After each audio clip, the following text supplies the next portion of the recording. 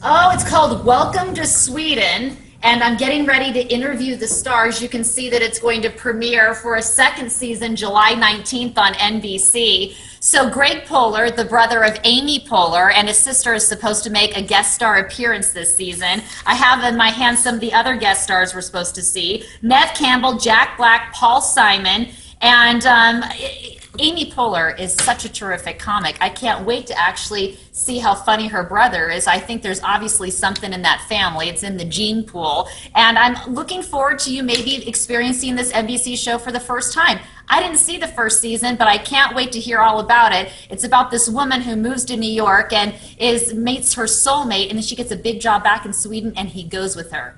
Hilarity ensues. We'll have more during Wake Up with the Wagners. Just wanted to show you what we're getting ready to do.